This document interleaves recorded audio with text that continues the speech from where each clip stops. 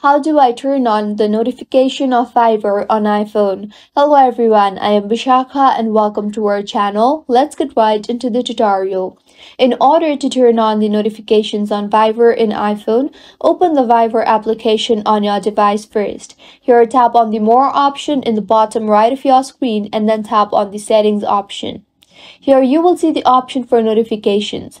Tap on that and make sure all the toggle buttons here are toggled on in order to get the notification of each and every activity on Viber. The other way to turn on notifications on Viber is to launch the settings application on your device. Here tap on notifications and scroll down and find the Viber option and tap on that.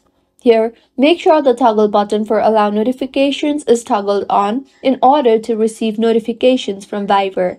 If you find this tutorial helpful, do subscribe to our channel. Thank you for staying with us until the end.